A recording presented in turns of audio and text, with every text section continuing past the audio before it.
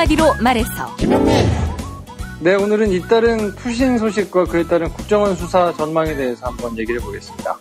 서초동 감식반장 김프로 오늘은 선거철이 다가올 때마다 벌어지는 탈당 러시 정계 개편에 대해서 경제학적인 해석을 말씀드리겠습니다. 이완배 기자의 경제의 속살 오늘은 로버트 울프의 오래된 진리에서 몇 구절 읽어드리겠습니다. 정선태 교수의 오늘을 읽는 책 오늘은 안철수 대표의 페이스북 메시지에 대해서 말씀드리겠습니다. 김성회의 탑정너 김용민 브리핑 잠시 후 시작합니다.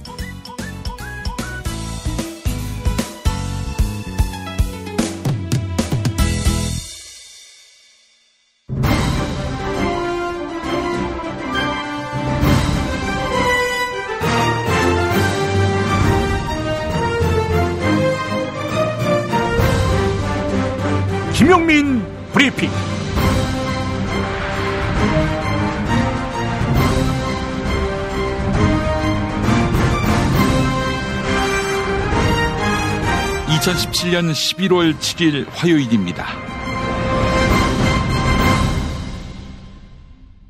조선일보가 달리 조선이 아닙니다. 조선일보가 달리 일 등신문이 아닙니다. 오늘자 8면을 보니까 SBS의 파일럿 프로그램 김어준의 블랙하우스를 지목하더니 진행자 김어준 딴지일보 총수에게 따라 붙는 편파, 막말 방송 등의 꼬리표는 여전히 떼지 못했다는 평가도 나왔다. 이렇게 전했습니다. 어떻게 해야 편파 방송 소리를 안 들을까요? 자유한국당의 가당치도 않을 문재인 대통령 비방, 변희재의 밑도 끝도 없는 태블릿 PC 의혹, 핵 마피아들의 원전은 안전하다는 무책임한 강변도 절반은 실어주어야 편파 소리 안 들을까요? 또 어떻게 해야 막말 방송 소리를 안 들을까요? 조선일보의 종편 TV조선처럼 하면 될까요? 그런데 그 TV조선은 황교안 권한대행 체제의 방송통신위원회로부터 TV조선은 오보, 막말, 편파 방송으로 인한 심의 제재 건수가 월등히 많다는 지적을 받은 바 있습니다. 김어준은 막말 편파를 했는데 TV조선은 막말 편파에 더해 오보까지 얹었군요. TV조선처럼 하면 됩니까? 낙검수식 막말 편파가 문제라는 이야기일 수 있겠군요. 그런데 정봉주 전 의원은 무슨 이유로 TV조선 MC로 데려갔습니까? 내로남불, 유체이탈의 전형 조선일보. 그래서 많은 언론 운동가들이 이렇게 평가하는가 봅니다. 조선일보는 담배보다 해롭다고요. 그나저나 다스는 누구 겁니까?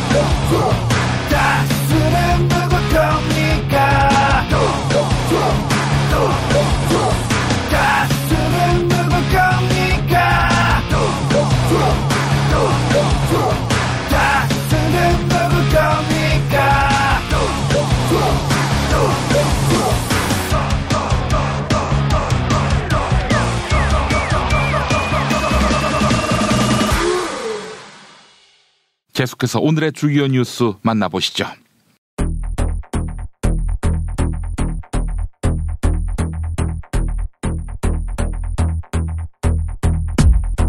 이명박 정부 시절 원세훈 국가정보원장이 남북정상회담 대화로 검토 이런 제목의 문건을 작성해 이명박 대통령에게 보고한 것으로 드러났습니다. 김대중 정부와 노무현 정부의 대북 정책에 흠집을 내기 위해서였는데요. 이 문건은 2012년 대선 당시 이명박 정부 청와대 외교안보 수석실에서 외부로 유출돼 새누리당의 공세로 이어졌습니다. 2012년 대선 당시 새누리당은 노무현 대통령이 북방 한계선 NLL을 포기했다고 주장한 바 있죠.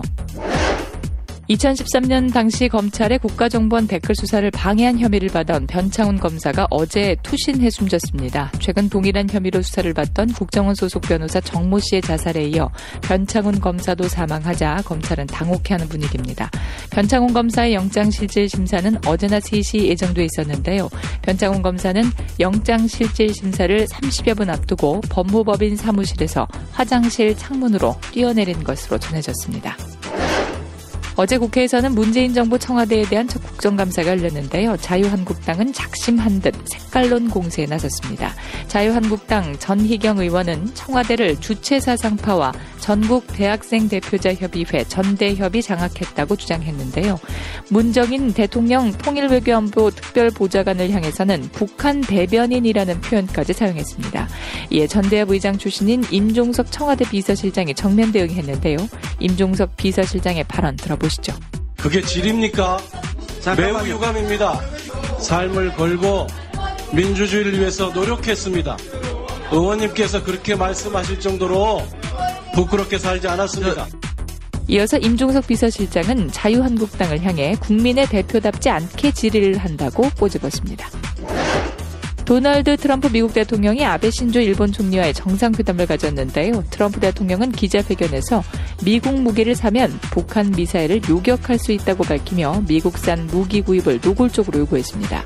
이어서 미국과 일본의 무역이 공정하지 않다고 덧붙이며 무역 불균형 시정도 요구했는데요. 오늘 한국을 국빈 방문하는 트럼프 대통령은 우리 측에도 통상 압박과 무기 구매 압력을 가할 것으로 보입니다.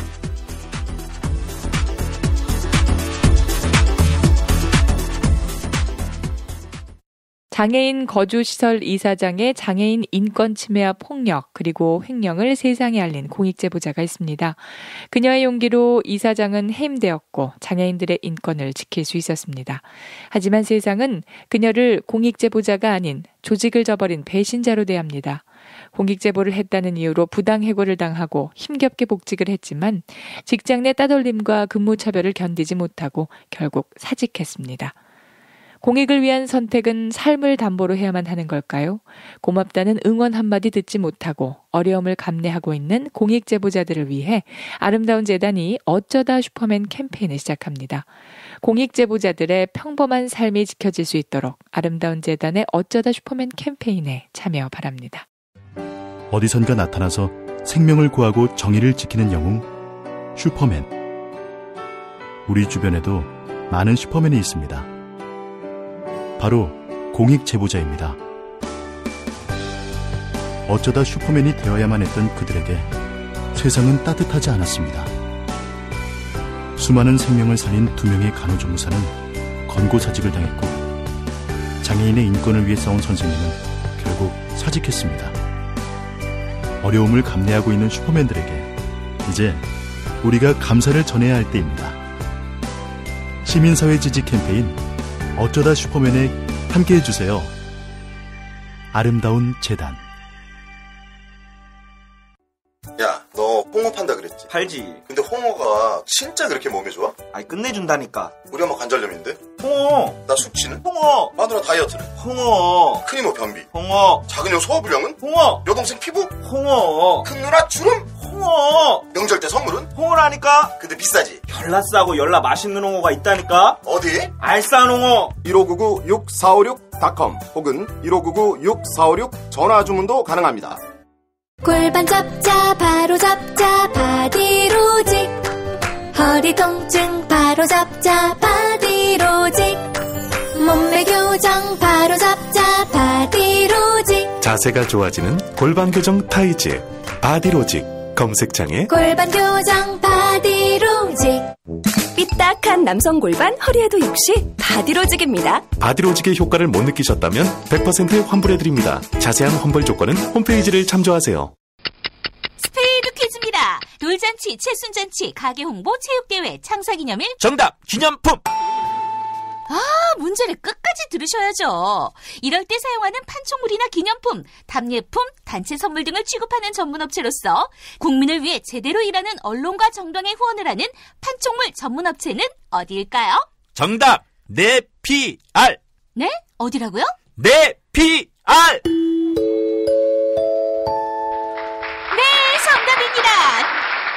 판촉물이나 단체 선물이 필요할 때 이왕이면 우리 편 회사 네피아를 찾아주세요.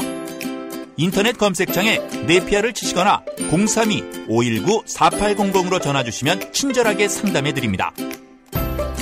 그런데 상품은 뭔가요? 네피아를 가서 고르세요. 3만 가지가 넘는 물품이 있어요.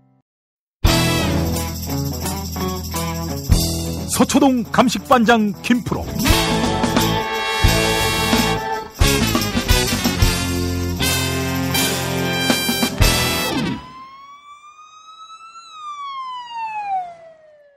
김프로 나와 계시죠? 네, 안녕하세요. 김프로입니다. 예. 현창훈 검사가 스스로 목숨을 끊었는데 이분이 지금 무슨 수사를 받고 있었어요? 국정원에 파견됐던 검사가 3명이 있었는데 장호중 부산지검장을 비롯해 가지고 나머지 이제 부장검사급 2명이 있었거든요. 2013년에 국정원 이제 뭐 댓글 수사가 한참 진행될 때 음. 그때 파견돼 있던 검사들이 검찰이 수사하는 거를 조직적으로 이제 방해하도록 음. 코치를 했다는 혐의를 이제 받고 있거든요. 예, 예. 뭐 가짜 사무실을 만들어 놓고 또 뭐 여러 가지 이제 지침들을 주면서 수사를 이렇게 이렇게 해가지고 빠져나가라 방해해라 뭐 이런 걸 이제 코치해줬던 그 사람들이 이제 수사를 받고 있는데 예. 이제 영장 실질 심사라고 하죠 구속 전 피의자 신문이 예정이 돼 있었거든요. 음. 근데 장호준 검사장 같은 경우는 포기했어요. 내가 나가서 아, 그걸 다투지 않겠다. 그러니까 뭐 영장 실질 심사를 포기했다는 얘기는 그냥 처분을 달게 받겠다. 뭐 이렇게 판단할 수 있거든요. 나가서 내가 무죄를 주장하면서 아 내가 이게 억울하다라는 거를 항변할 기회를 그냥 포기했다는 거니까 아하. 받아들이겠다는 얘기인데 지금 나머지 두 명의 검사가 그러니까 번창훈 검사하고 이재영 검사하고 두 명이 이제 남아 있는데 구속 전 피의자 신문을 앞둔 상태에서 갑자기 건물에서 투신을 한 거거든요. 이분이 부당한 수사를 받았던 거였나요? 어떻습니까? 그렇지는 않다고 보이고요. 부당한 수사를 받아서 만약에 극단적인 선택을 할 것 같으면 너무 억울해서 내가 이런 선택을 한다라고 치면 아마 그거에 대해서 준비를 해서 알릴 거예요. 어떤 식으로든 유서를 작성한다든지 아니면 뭐 어, 내가 너무 억울해서 그런다. 나의 억울함을 좀 풀어달라라고 누구한테 하소연을 하든지 얘기를 아마 할 텐데 음. 변호사 사무실이 서초동에 바로 그 검찰청사 법원 그 앞에 있거든요. 예. 근데 영장실질심사 준비하다가 그러니까 아내하고 지인 한 명하고 이제 같이 있었다고 그래요 변호사 사무실에. 음. 그러다가 잠깐만 나 사무 저 화장실 좀 갔다 올게요 하고 화장실에 갔다가 음. 그 화장실 창문을 통해서 바깥으로 이제 떨어져서 숨진 건데 예. 유서도 없고 경찰이 지금 발표한 거는 타살 혐의점도 따로 지금 발견되지 않았다라고 얘기를 하기 때문에 예. 지금 일단 뭐 수사를 조금 더 진행을 이제 해봐야겠습니다만 억울해서 뭔가 부당한 수사를 받아서 그랬다고 보기는 조금 어렵지 않나 싶고 음. 구속이 될 수도 있겠구나. 내가 이렇게 가면 뭔가 중형이 좀 선고될 수도 있지 않을까? 뭐 이런 막다른 골목에 좀 몰렸 다고 해석을 하는 것이 오히려 합리적이 아닐까. 음. 지난주에는 국정원 소속의 이제 변호사 한 명도 수사를 받던 도중에 강릉에서 스스로 목숨을 끊었거든요. 예. 근데 그분 같은 경우는 이제 자살 기도를 두 번이나 했어요. 한 번은 바닷물에 몸을 던졌다가 구조가 돼가지고 그 이후에 이제 승용차 안에서 어 이제 목숨을 끊었는데 그 변호사하고 그 변호사가 검찰 조사를 받기 전에 수차례 통화를 했던 통화 기록이 이제 나왔거든요. 예. 그러니까 뭔가 두 사람이 아 이게 수사를 앞두고 뭐 여러 가지로 이제 논의를 했을 거고 국정원 소속 변호사가 이제 극단적인 선택을 그렇게 이제 하면서 본인이 이제 더 뭔가 불리해졌다고 아마 판단을 하지 않았을까 싶어요. 그래서 아마 그런 극단적인 이제 선택을 한 걸로 보이는데 아 요거 때문에 수사에 어떤 영향을 미칠지 그게 조금 관심을 가지고 지켜봐야 되지 않나 싶어요. 그렇다고 수사를 안 할 수 없는 것 이거는 아니지 않습니까? 뭐 그렇죠. 수사가 이거에 영향을 받아서 뭐 멈추거나 뭐 이럴 일은 없을 거예요. 이게 아마 부당한 수사다 이런 여론이 형성돼서 음. 너무하지 않느냐, 막 이런 이제 굉장한 역풍이 부는 경우에는 예. 수사가 그냥 종결되는 경우도 이제 종종 있거든요. 뭐 대표적인 케이스가 노무현 전 대통령 수사 같은 경우에 어, 이제 노전 대통령이 서거하시고 수사를 하려고 치면 사실 그 나머지 공범들이라고 이제 주장을 하면서 본인들이 수사를 했던 음. 다른 사람들에 대해서도 그냥 수사를 진행할 수 있거든요. 이론적으로 보면. 음. 근데 이제 그때 뭐 국민적인 역풍을 맞았잖아요. 그러니까 검찰이 그래서 더 수사를 진행할 수 없으니까 그거와 관련된 그러니까 노 전 대통령과 관련된 여러 사람들의 수사를 그냥 그 상황에서 종료했거든요. 예. 그리고 노 전 대통령에 대해서는 공소권 없음 처리를 하고 그 나머지 수사에 대해서도 그냥 여태까지 나온 사람들, 기소한 사람들만 정리하고 더 이상 어, 뭐 혐의를 저 찾아내거나 그러지는 않았단 말이에요. 예, 예. 근데 이번 사건은 사실 성격이 좀 완전히 다르죠. 그때는 뭔가 흠결을 찾아내 가지고 정치적으로 상대편을 주저앉히기 위해서 거의 공작에 가깝게 수사를 했던 것을 많은 사람들이 이제 알았기 때문에 그걸 느끼고는 있었지만 말을 못하고 있었는데 아, 노전 대통령이 서거하면서 그게 이제 한꺼번에 분출돼 나와서 이러다간 큰일 나겠다 싶으니까 본인들이 이제 수사를 접었던 것인데 이번에는 사실 지난 10년 동안 했던 폐악질이 하나씩 둘씩 드러나면서 와 이거 너무한 거 아니야? 싶은 생각에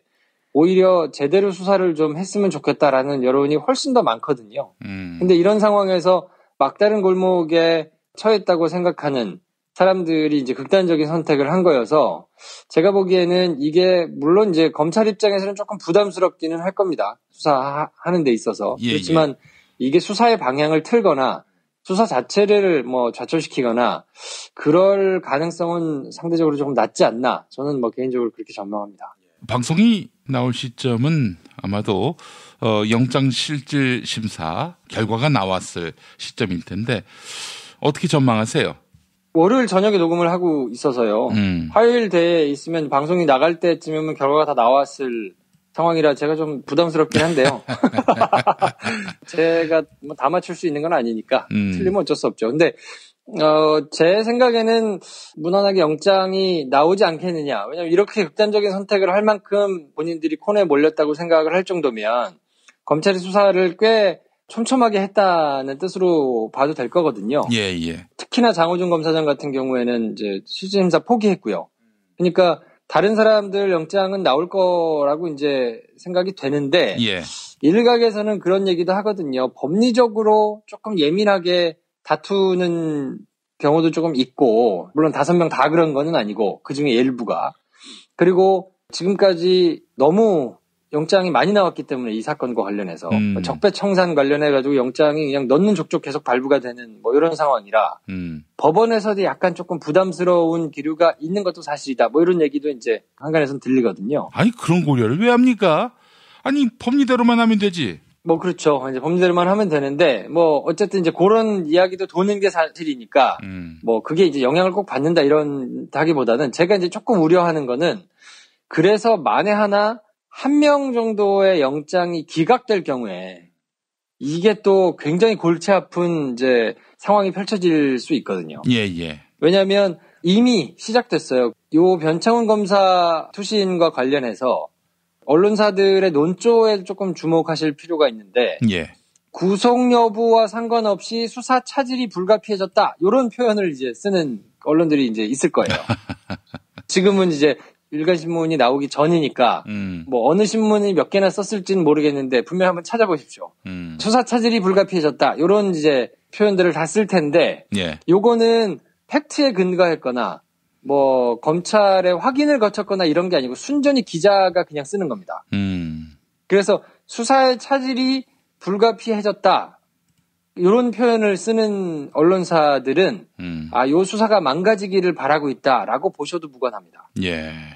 근데 이제 그렇지 않고 조금 더 객관적으로 이제 쓰려고 생각하는 사람들은 수사에 차질이 생길지 우려된다.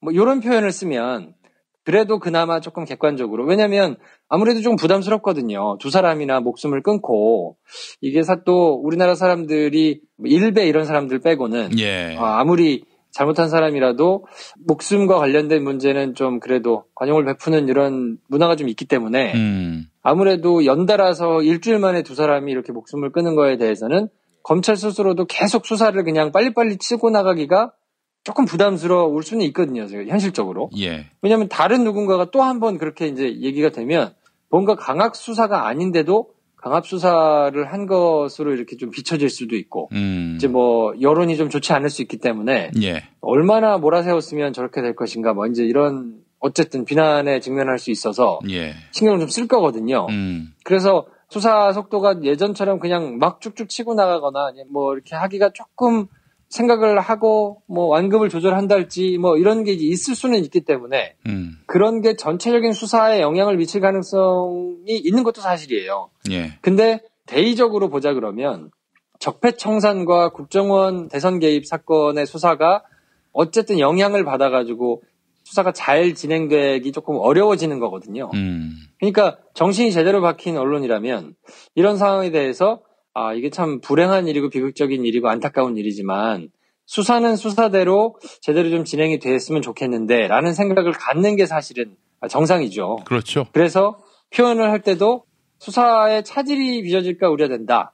수사의 완급을 조절하다가 이것 때문에 수사가 꼬이게 되는 건 아닌지 우려스럽다. 뭐 이런 이제 조심스러운 표현을 하는 것들은 제정신이 박힌 언론이라고 보시면 되고 아, 그냥 수사에 차질이 불가피해졌다 이렇게 단언하는 것들은 본인들이 원하고 있다고 생각하면 하시면 돼요. 예. 근데 제가 이제 뭐 길게 돌아서 말씀드렸습니다만 한 명이라도 영장이 기각되는 상황이면 가뜩이나 수사 차질이 불가피해졌다 이렇게 쓸 언론들도 많은데 어, 여기다 대고 뭐 이제 국정원과 관련해 가지고 검찰이 무리하게 수사를 막 진행했다 이렇게 이제 막 뭐 호들갑을 떨면서 난리를 칠 거거든요. 예. 그러니까 저는 조금 걱정되는 게 아, 법원이 물론 이제 그 검찰 수사가 올라온 뭐 이런 이제 자료들 이런 것들을 증거들을 보고 판단하는 것이어서 제가 전혀 기록을 보지 않은 상태에서 얘기하는 거라 조금 조심스럽기는 합니다만 영장의 한 명이 기각됨으로 인해서 막 그렇게 난리 법석을 떠는 언론들이 생겨나고 그것 때문에 실제로 조금 위축돼가지고 검찰 수사가 좀 제 속도를 못 내는 이런 결과가 나오는 것은 여러모로 불행이기 때문에 음. 그런 상황만은 생기지 않았으면 좋겠다 싶은데 음. 제가 걱정되는 거는 뭐 다른 사람 뭐랄까 한 명 정도 있어요. 한 명 정도의 영장이 기각될 수도 있지 않을까 싶은 생각이 조금 있는데 음. 부디 제가 틀렸기를 자고 일어나서 방송이 될 때는 전부 다 구속영장이 발부가 돼가지고 구속이 집행이 됐으면 하는 바람이 있습니다. 예. 이재영 씨를 말하는 거죠.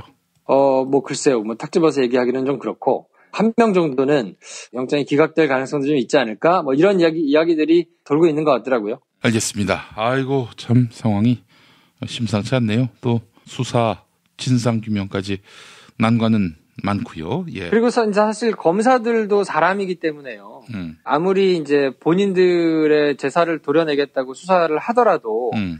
뭐 여러모로 영향을 조금 받지 않겠습니까? 그 같이 수사를 하고 이렇게 친하게 뭐 지냈던 사람들이 이렇게 비극적인 상황에 처하게 되면 투신한 변창훈 검사 같은 경우에 연수원 23기거든요. 음. 근데 23기가 누구냐면 윤석열 재검장이 23기예요. 아 그래요. 예, 그래서 이제 개인적으로는 뭐 인연이 있고 그 언저리에 있는 뭐 수사팀 사람들이나 뭐 이런 사람들하고는 다들 가깝기 때문에 음. 가까워서 수사가 막 망가지고 이럴 건 아니지만 어쨌든 그래도 개인적으로는 비극이고 또 그 변창훈 검사의 자제분들이 좀 어리거든요. 음. 그런 상황에서 이제 개인적으로는 굉장한 불행사여서 뭐 문무인 검찰총장이 지금 가서 뭐 조문도 하고 애통하다는 이제 입- 입장도 검찰이 발표를 하고 했는데 뭐 이런 것들을 수사를 진행하는 데 있어서 인간적으로는 검사들도 참 쉽지는 않을 거거든요. 그럼에도 불구하고 맡겨진 역할이 이제 수사를 하는 거니까 수사는 그대로 진행이 되겠지만 인간적인 고충은 분명히 있을 겁니다. 뭐 그렇고 그것 때문에 막 언론에서 이제 시끄럽게 뭐 수사에 차질이 불가피하다고 막 몰아가면 영향을 아무래도 안 받을 수 없을 거예요. 근데 그 부분이 조금 우려되긴 하는데 그래서 저는 어, 영장이 한 명이라도 기각되면 그 상황에 더 이제 불이 붙을 거거든요. 음. 그래서 제발 그 상황만은 조금 안 왔으면 안 와도 사실은 되게 힘든 상황이거든요. 예. 하여튼 뭐 그런 면이 조금 있는데 그거는 이제 방송이 나갈 때 뭐 하여튼 결정돼 있을 테니까 한번 좀 지켜봐야 될 것 같습니다. 네, 알겠습니다. 적폐 청산까지 참으로 멀고도 먼 길입니다. 예. 자, 김프로 내일 뵙겠습니다. 네, 고생하셨습니다. 내일 뵙겠습니다. 태초에 하나님이 술 친구는 술 친구는 창조하셨습니다. 어쩐지 하느님이 술만 내리실 리가 없습니다. 자 오늘 달릴 건데 굼벵이 챙겼지? 맞다 굼벵이 아, 야 내가 한 포 준다 이거 귀한 거니까 꼭 갚아 술친굼 먹으면 술자리에서 완전 날아다니잖아 음주 생활의 퀄리티가 달라진다니까 이 연말 회식도 술 친굼만 있으면 걱정 없어 연말 회식 절대 강자 술친굼. 술친굼 공식 쇼핑몰 회원만을 위한 추가 증정 이벤트를 확인하세요. 네이버에 술친굼을 검색하세요. 충남 금산의 넓은 인삼밭. 정성 농장을 일군 농부 아버지 이정열 씨. 자연은 노력한 만큼 내어준다. 그 자연의 마음을 알기에 정성 농장을 더불어 일구는 아들 이성규 씨도 아버지에게 배운 것처럼 정직하고 또 성실하게 정성 농장 홍삼은 인삼 재배부터 가공 판매까지 모두 책임지고 있습니다. 그래서 대한민국 1등 품질을 자부합니다. 검색창에 정성 농장 홍삼을 검색해 주세요. 정성 농장 홍삼. 전화 문의는 010-9754-6972. 아, 이놈의 뱃살. 맞는 옷이 없네. 애돌 보랴 일하랴 살 뺄 시간이 없네. 다시 날씬해지고 싶어! 다이어트 전문 쇼핑몰 비타샵에서 개발한 국내산 동결건조 생식과 통곡물에 세 가지 단백질과 비타민, 미네랄을 더해 만든 다이어트 전용 그린 스무디를 추천합니다. 문의는 1522-6648, 1522-6648 혹은 검색창에서 비타샵을 검색해주세요. 중국 대륙에 휘몰아친 충격 정치 실화 13억 분의 1위 남자. 아사히 중국 특파원이 목숨 걸고 취재한 시진핑 권력 승계의 비밀 그 full story. 13억 분의 1위 남자. 만년 지방관리가 어떻게 국가주석이 되었을까? 궁지에 몰린 장쩌민이 시진핑에게 살려달라 전화를 건 이유는 보시라이와 저우융캉이 획책한 쿠데타. 그 실상은? 리얼 정치 활극을 직접 확인하세요. 13억 분의 1위 남자 도서출판 레드스톤 김용민 브리핑 뉴스계 능력 평가 정답 맞히신 분들 소개합니다. 어제 문제는 미국 대통령이 타는 비행기 이름을 맞히는 거였죠. 정답은 에어포스 원인데요. 당첨자 두 분에게 이용마 MBC 해직 기자의 신간 세상을 바꿀 수 있습니다를 보내드립니다. 복마감 진단을 받고 투병 중인 이용마 기자가 한국사의 구석구석에 대한 기록을 남긴 책 세상을 바꿀 수 있습니다. 도서 출판 창비에서 협찬해 주셨습니다. 다른 당첨자에게는 애주가들의 한 아이템 술친굼 한 박스를 선물해 드립니다. 금요일 정답자 가운데 한 분에게는 남도 먹거리에서 협찬하는 식품 꾸러미 상품을 선물해 드립니다. 금요일 정답자 가운데 다른 한 분에게는 골반 보정 속옷 바디로직 리포머 팬츠 선물해 드립니다. 금요일 정답자 가운데 다른 한 분에게는 머문 빌리지 이용권 격주로 선물해 드립니다. 총 3,000평의 대지와 건물 두 동을 오직 한 팀에게만 서비스합니다. 애청자 여러분의 성원에 힘입어 일요일과 평일 가격을 대폭 낮춘 머문 빌리지 할인 행사를 진행하고 있습니다. 정답자 찐빵이님, MBC 정상화가 눈앞으로 다가왔습니다. 잘 싸워준 MBC 구성원들과 기다려준 국민들 모두 고생 많으셨습니다. 박경희 소나무님 이메일을 안 적어두셨네요. 끝까지 적폐를 청산해가는 이 정부와 용기 있게 나서주는 많은 이들에게 응원을 보냅니다. 문통방통 끝말잇기 당첨자께는 별을 따다 구운 과자 롤카스테라 드립니다. 주문 전화 0336462668 인터넷 주문 베이킹파머.co.kr입니다.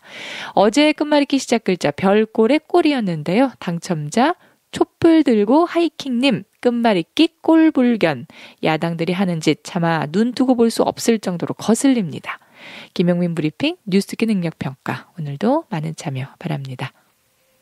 민주주의와 인권이 위협받던 시기 그리스도의 정의와 진리를 선포한 학교. 김재준, 장준하, 문익환, 안병무 등의 선각자의 정신으로 종교개혁 500주년 새로운 한국교회의 미래를 열어갈 인재를 양성하는 학교 한신대학교 신학대학원.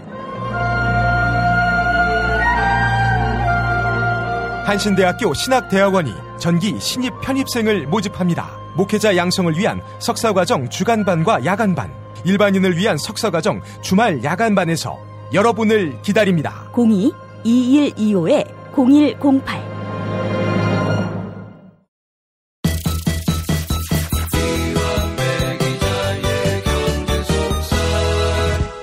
이완배 민중의 소리 기자 만나겠습니다. 이완배 기자님. 네, 안녕하십니까? 네.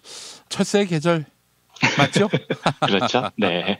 어떻게 보셨어요? 네, 뭐 아주 즐겁게 봤습니다. 재밌었습니다. 뭐 돌아온 나간 지 얼마 안 돼서 바로 그렇게 뻔뻔스럽게 들어가는 모습이 뭐 아주 뭐 웃기려고 했다면 성공을 했다는 생각이 들었어요. 예, 예. 아, 근데 이제 뭐 여러 번 제가 말씀을 드렸지만 제가 정치공학 이런 이야기는 잘 몰라서 아, 오늘은 이제 정치 쪽 이야기를 드릴 텐데 이 이야기가 좀 생뚱맞을 수도 있습니다. 그리고 정치적 현실에는 맞지 않을 수도 있어서 예. 정치자분 분들께 미리 양해를 먼저 부탁드립니다. 제가 보통 정치 쪽 이야기를 할 때는 이제 주로 경제학에서 말하는 다양한 이론에 접목이 가능한 현상만 제 스스로 해석을 하고 이러는 겁니다. 예. 그래서 들으시는 정치자분들께서도 좀 가볍게 아 경제학에서는 저걸 저렇게 해석을 하는구나 정도로만 받아들여 주셨으면 좋겠습니다. 예. 바른정당 의원 9명이 탈당을 했죠. 자유한국당으로 입당이라고 쓰고 이제 기어 들어간다라고 해석을 해야 마땅하는 이제 그 일을 하겠다는 거죠. 이건 뭐 저희 브리핑에서도 김용민 PD님께서 상세하게 소개해 주셨기 때문에 요약은 생략하겠습니다만 제가 이 문제를 접하면서 관심을 갖는 대목은 왜 선거철만 되면 유난히 탈당 러시가 많이 벌어지느냐 요 문제에 관한 겁니다. 지금도 내년 지방선거를 앞두고 뭐 바른정당 탈당 사태가 벌어진 거고요.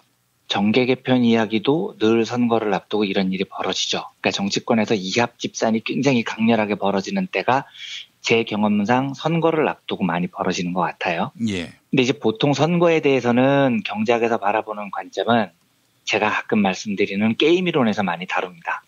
특히 게임 이론에서는 게임에 참가한 사람들을 플레이어라고 부르는데 이 플레이어들이 자기에게 어떻게 하면 유리한 결과를 가져올까? 이걸 늘 고민하기 때문에 정치권에서 벌어지는 플레이어들의 행동을 해석하는데 상당히 유용할 때가 많아요.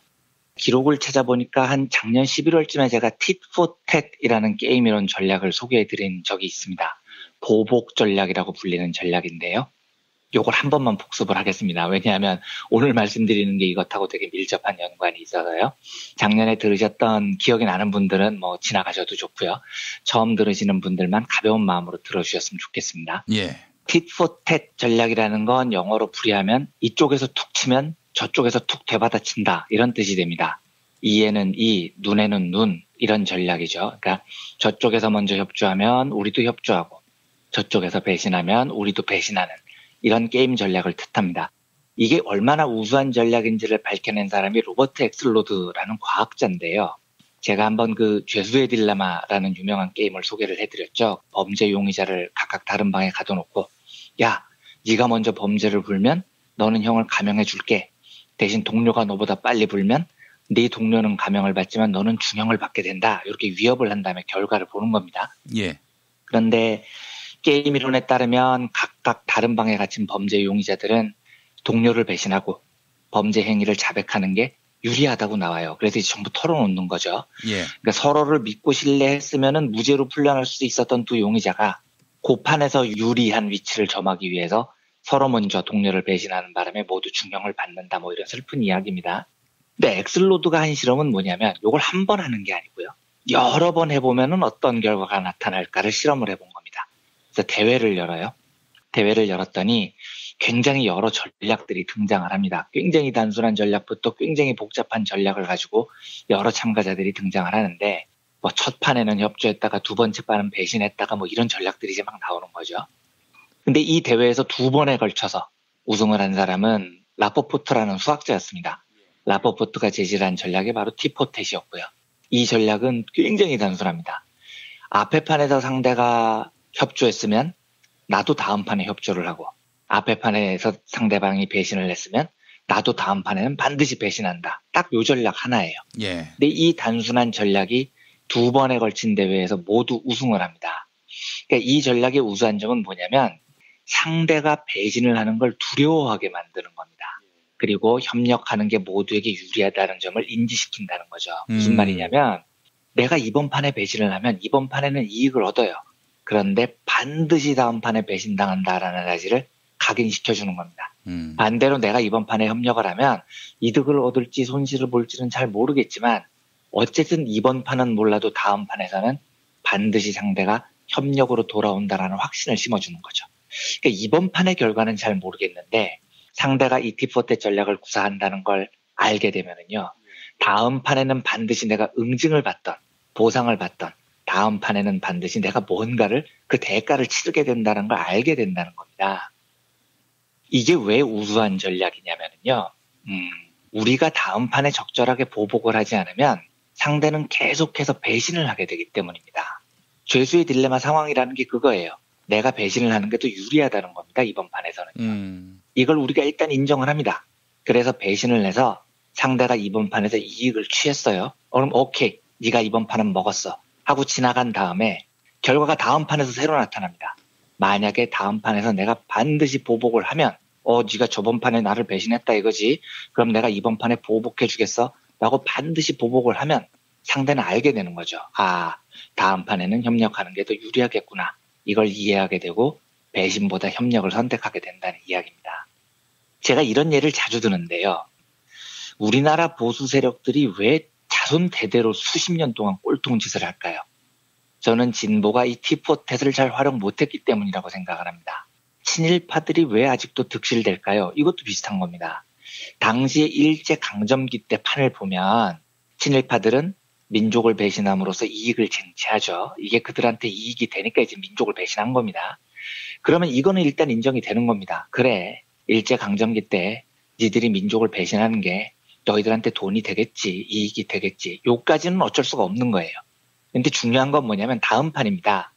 그 판이 끝나고 새 판이 시작됐을 때가 중요합니다. 이게 바로 해방이 됐을 때 이야기죠. 새 판이 시작되면 즉각적이고 강력한 보복이 있었어야 합니다. 디포텟을 적용해야 하는 거죠. 만약에 친일파 순사가요, 독립군을 고문을 내서 죽였어요. 그럼 그 판에서는 걔한테는 그게 이익이겠죠? 하지만 좀 잔인한 이야기지만 해방이 되고 나서 다음 판이 시작이 되면 티포텟을 적용해야 됩니다. 그래서 그 친일파 순사를 죽음에 거의 근접하는 징벌을 해야 돼요.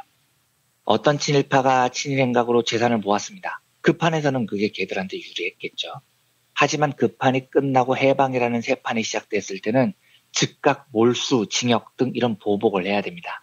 이건 감정적인 문제가 아니고요. 이렇게 다음 판에 티포텟을 보복을 적절히 구사해야만 결국은 개들도 개과천선한다는 결론이 이미 게임 이론에서 결론이 지어져 있기 때문입니다. 응징을 못하면 계속해서 못된 놈들은 배신을 한다는 거죠. 그게 그 판에서 제일 유리하니까요. 예. 이때 이 대회를 주최한 그 엑슬로드가 또 한 가지 중요한 힌트를 남깁니다. 이 보복 전략에 대해서요. 티포텟이 위력을 발휘하기 위해서는 굉장히 중요한 전제가 한 가지 더 있습니다. 뭐냐? 상대방에게 다음 판이 곧바로 존재한다는 사실을 알려줘야 된다는 거예요. 이제 이게 조금 어려운데 제가 잘 설명할 수 있을지 모르겠습니다만 제 설명이 조금 부족해도 좀 잘 이해해 주셨으면 좋겠습니다. 예. 다음 판의 존재가 무지하게 중요하다. 왜냐? 만약에 이번 판을 벌렸어요. 그런데 다음 판이 없다고 가정을 해보겠습니다. 이러면 아무도 보복을 두려워하지 않습니다. 다음 판이 없는데 왜 보복을 당하겠습니까? 이번 판이 끝인데요. 그러면 이번 판에는 누구나 다 배신을 합니다. 아무도 협력을 안 해요. 보복이 두렵지 않는 겁니다. 그래서 실제로 상대방의 협력을 이끌어내기 위해서 이 게임 이론에서 제일 중요한 것 중에 하나는 다음 판이 없어도 다음 판이 있는 것처럼 행동을 해야 됩니다. 너 이번 판에 우리 배신하면 다음 판에 우리가 반드시 보복한다. 이제 사실은 다음 판이 없지만 이런 태도를 보여야 상대가 다음 판에 보복을 당할 것을 두려워해서 이번 판에 이제 협력을 한다는 겁니다. 예. 그러면 이 문제를 정치 쪽에 응용을 해보면 이렇습니다. 왜 선거가 가까워 오면 선거철만 되면 동지들을 배신하고 탈당하고 이러는 인간들이 많아질까? 이 질문에 대한 게임 이론의 대답은 다음 판이 너무 멀리 있기 때문이라고 답을 합니다. 음. 만약에 내가 이번 선거에서 배신을 했어요. 그런데 다음 판이 바로 한 달 뒤에 벌어집니다. 이러면 상대가 티포텍, 보복 전략을 펼치겠죠. 이런 상황에서는 배신을 잘 못해요. 왜냐하면 한 달 뒤에 바로 응징을 당할 테니까요. 근데 문제는 뭐냐면 선거가 보통 4년에 한 번 돌아온다는 데 문제가 있습니다. 이번 지방선거가 끝나면 다음 총선은 2년 뒤에 벌어지죠. 이 기간이 굉장히 긴 겁니다. 그리고 저는 잘 모르겠는데 정치를 하시는 분들에게 여쭤보면 2년이라는 건 진짜 진짜 긴 시간이라고 하더라고요. 별의별 일이 다 벌어질 수 있는 시간이라고 말씀들을 하시더라고요. 예. 그러니까 이 2년이라는 긴 시간을 두고 이번 판에 누군가가 선거에서 배신을 해도 유권자가 다음 판에 즉각적인 보복을 할 방법이 없는 겁니다. 다음 판을 너무 오래 기다려야 돼요. 그러니까 정치인들은 이 긴 시간이라는 변수를 믿고 이번 판에 대놓고 배신을 해서 즉각적인 이익을 챙기는 경우가 많은 겁니다. 철새들이 이렇게 생기는 거죠. 그리고 2, 4년 동안에 2에서 한 4년 동안 여러 정치적인 변수를 이용해서 내가 지난번 판에 배신했다는 사실을 잊게 하거나 아니면 물타기를 할 기회를 찾습니다. 그러니까 예를 들면 국회의원을 소환하거나 해임하거나 하는 제도가 있으면 완전히 달라질 겁니다. 다음 판까지 시간이 짧아요. 누군가가 배신을 했을 때 즉각 보복을 할 수 있습니다. 근데 우리나라는 국회의원에 대해서 이런 제도가 지금 없죠. 무조건 응징을 하려면 4년을 기다려야 됩니다. 4년이라는 긴 시간이 주어졌기 때문에 배신을 즉각 응징하는 방법을 찾기가 어렵다는 거죠. 이래서 철새들이 들끓는다는 게 게임 이론의 관점입니다. 제가 이걸 전혀 정치적인 식견이 없는 상태에서 음. 게임 이론의 관점으로만 정계 개편에 대해서 의견을 개진을 해보겠습니다. 아마 동의를 좀 못하는 분들도 있으실 것 같은데요. 좀 관대하게 받아들여 주십시오. 정치적인 무식자가 오로지 게임 이론의 관점으로만 말씀을 드리는 거니까요. 네.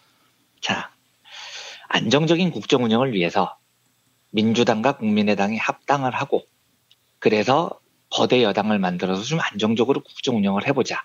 이런 주장이 있습니다. 그러니까 2년 전 총선에서 민주당을 배신했던 국민의당 의원들을 받아들이자. 이런 주장이 있는 거죠. 예. 물론 현실적으로 120석대 여당이 안정적인 국정 운영을 위해서 캐스팅 보트를 쥔 국민의당 40석의 의석이 필요할 수 있을 겁니다. 예. 그리고 그런 이유로 뭐 정계 개편을 할 수도 있을 거고요. 근데 이건 제가 정치적인 견해가 아니고 순전히 게임 이론 관점에서만 보면은요. 이건 해서는 안 되는 행동입니다.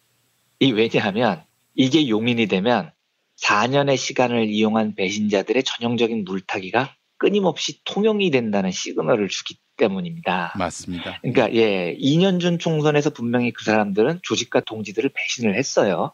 그러면 그 판에서는 보통 막대한 이득을 챙깁니다. 배신을 하는 이유가 그 판에서 이득을 챙기기 위한 거고 실제로 게임 이론에서는 배신하는 게 유리한 경우가 그 판에서 많아요.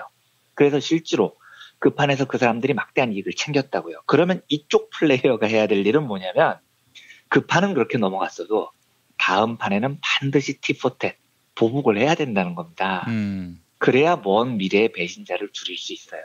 그리고 배신자들에게 배신보다 협력이 더 유리하다는 사실을 각인시킬 수 있어요. 음. 그런데 말씀드렸듯이 하필이면 선거라는 건 앞에 판과 뒤에 판의 간격이 굉장히 깁니다. 4년이죠. 그러니까 이것 때문에 즉각적인 보복이 안 돼요. 그리고 2016년 총선으로부터 2년이나 지나왔습니다. 이렇게 시간이 지나 보니까 정치적 지형의 변화가 막 생겼어요. 그래서 이제 배신자들을 용납해야 되는 상황이 와버린 겁니다. 그래서 어쩔 수 없이 아 그래 옛날 얘긴데 용납하자 정치적으로 필요하다 하고 용납을 해버립니다. 받아들여 줬습니다. 이러면 무슨 일이 생길까요? 다음 판에 배신자가 또 등장합니다. 왜냐하면 정상적으로 공천도 못 받았을 사람들이 일단 배신하고 지역 감정 조장하고 마타도 버뜨려서 당선이라는 이득을 취한 다음에 그 판에서 얻을 수 있는 이익을 다 얻은 다음에 4년이라는 긴 시간 동안 시간을 끌다가 적절한 시간에 아 옛날에 좀 잘못했어. 우리가 그래도 한 뿌리잖아. 우리 다시 한 편으로 먹자. 이러는 사람들이 왜 안 등장하겠냐고요. 과거에도 그게 먹혔는데요. 그렇게 한 판을 배신하고 이익을 얻었는데 아무런 응징을 받지 않았으니까요. 그렇다면 다음 총선에도 이번 판의 이익을 위해서 배신을 하는 사람이 나오지 않을 이유가 없는 거죠. 음. 그러니까 저는 사실 이런 관점에서만 보면 제가 만약에 민주당에 속한 플레이어라면은요. 국민의당과 합당 혹은 용서에 대해서 저는 굉장히 강경하게 반대할 것 같아요. 제가 그 입장이라면요. 당장 국정 운영에 좀 힘겨운 면이 있더라도 그걸 용인을 하면 2년 뒤에 그 배신 행위는 또 계속해서 반복될 것 같기 때문입니다. 철새라고 불리는 정치인들을 가장 막는 제일 좋은 방법은 철새를 왜 하겠습니까? 그렇게 하면은 이번 판에서 얻는 게 있으니까 하는 겁니다. 예. 그러면 그걸 막으려면 이번 판의 이익은 어쩔 수 없어도 다음 판에 반드시 보복을 해야 돼요. 맞습니다. 예. 예, 4년이라는 긴 시간 동안 이걸 까먹으면 안 됩니다. 이게 감정적으로 이 새끼들 우리를 배신했으니까 죽여버리겠어 이런 차원의 얘기가 아니에요. 다음 판에 반드시 응징하는 티포텍 전략이 배신 행위를 제어하는 거의 유일하고 가장 효율적인 방법이라는 건 게임 이론에서 이미 증명이 됐다고요. 그래서 그 일을 하는 겁니다. 그래서 저는 정치를 제가 잘 모르지만 정치라는 게 워낙 다양한 감정선의 복합 예술이어서 이런 보복 행위가 잘 이루어지지 않더라고요. 음. 그러니까 정치적인 지형에 따라서 좋은 게 좋은 거고 어제는 이 편이었지만 오늘은 우리 편으로 진짜 이런 관행이 유지되는 것 같은데 순전히 게임 이런 관점에서만 보면 이런 게 유지되면 정치적 철새 행위는 없어지지 않습니다. 정치는 정치고요. 적어도 우리 유권자들만큼은 아, 정치가 유권자들을 배신했을 때 그 배신에 대한 응징, 철새 행위에 대한 보복 이게 저는 관행으로 자리 잡는 게 바람직하다고 봅니다. 예. 보복, 응징 이런 단어들이 좀 잔인해 보여서 그런데 게임 이론이 분명히 이야기를 합니다. 다음 판에 잊지 않고 보복하고 응징하는 것이 보다 협력적인 사회를 만드는 가장 유력한 방법이라는 겁니다. 예. 아, 이런 차원에서 오늘은 왜 선거철만 가까우면 철새들이 난무하는지 그리고 그걸 막기 위해서 게임 이론은 다음 판에 어떤 보복을 가해야 되는지를 가르쳐 주는지를 청취자 여러분들과 공유를 해봤습니다. 네.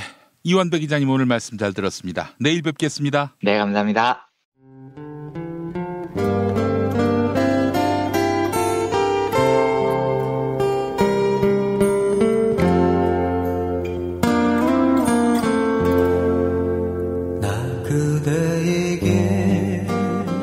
뜨거운 여름이 가고 어느새 찬바람이 옆구리를 스치면 왠지 뜸해졌던 그리운 친구 생각나시죠? 몇 년 만에 만나도 바로 어제 본 것 같은 말 안 해도 내 마음 누구보다 잘 알아주던 속 깊고 다정한 친구 다 있잖아요. 마치 민중의 소리 같은? 어, 이렇게 마음 맞는 친구랑 뜨거운 국물에 소주 한 잔이면 크, 같이 할까요? 당신의 든든한 절친 민중의 소리가 오늘도 당신을 응원합니다.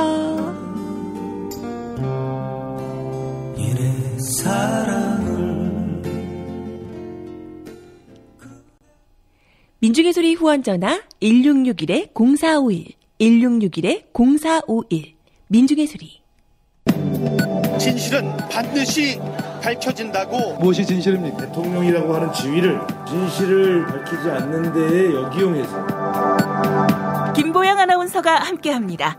아프니까 팩트다. 떠! 안녕하세요. 아프니까 팩트다 김보영입니다.